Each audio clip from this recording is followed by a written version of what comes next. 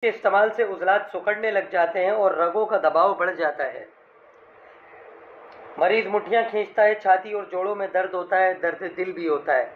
ایسی علامات میں مریض، ایسے پیشنٹ جن کو یہ سب سمٹمز پائے جاتے ہیں، اس دوا کا استعمال کر سکتے ہیں۔ یہ ایک نحمدہ ونصلی ونسلم علی رسولہ الکریم۔ اما بعد، فاؤز باللہ من الشیطان الرجیم۔ بسم اللہ الرحمن الرحیم۔ ہربل کی جانب سے حکیم محمد علی شیخ اور ڈاکٹر فہیم ہربلسٹ آپ کو سلام پیش کرتے ہیں السلام علیکم ورحمۃ اللہ وبرکاتہ سامعین اس سے قبل کے آج کی ہومیوپیتھک میڈیسن کا آپ سے تعارف کراؤں میں یہ ضروری سمجھوں گا کہ ڈاکٹر فہیم ہربلس کی طبی خدمات سے آپ کو آگاہ کیا جائے doctor Faheem herbal Sohrab Goth J D C office کے سامنے ہربل ہلز کلینک کرتے ہیں۔ دبئی کو ایک جدہ میں بھی متب کرتے ہیں۔ اس کے علاوہ آپ مارننگ شو کرتے ہیں جی ٹی وی اور کے ٹوینٹی ون پر۔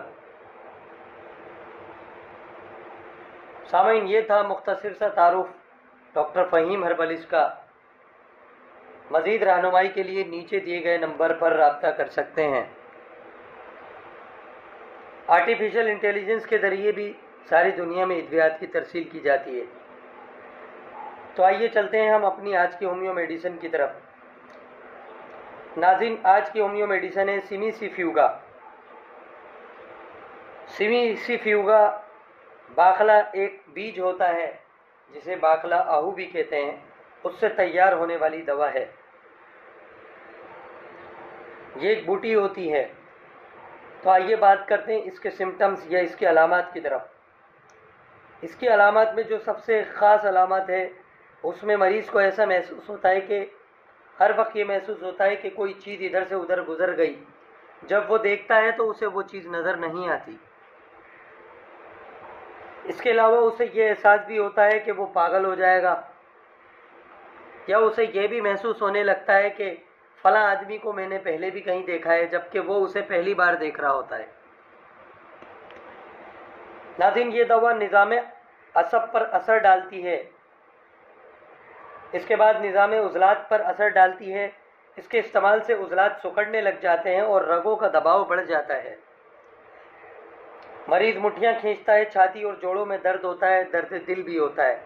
ایسی علامات میں مریض، ایسے پیشنٹ جن کو یہ سب سمٹمز پائے جاتے ہیں اس دوا کا استعمال کر سکتے ہیں۔ یہ ایک نہایت قیمتی دوا ہے جو کہ درد جوڑ اور اعصاب میں بہت زیادہ مفید ہے۔ حیض کے وقت درد کا ہونا اس سے دور ہو جاتا ہے۔ راشا جو مستورات میں جوانی کے وقت پیدا ہوتا ہے، وہ بھی اس کے استعمال سے ختم ہو جاتا ہے۔ عام راشا مالی خولیا کی خاص دوا ہے۔ سرسام جس میں گردن بھی ٹیڑھی ہو جائے لنگڑی کا درد یا ارک النساء کا درد یا کمر کا درد، اس میں بہت ہی مفید ہے۔ مقدار خوراک دس قطرے صبح دوپہر شام۔ سامعین، یہ تھا مختصر سے تعارف سمی سی ویوگا کا مزید رہنمائی کے لیے نیچے دیے گئے نمبر پر رابطہ کریں، حکیم علی کو اجازت دیں۔ اللہ حافظ۔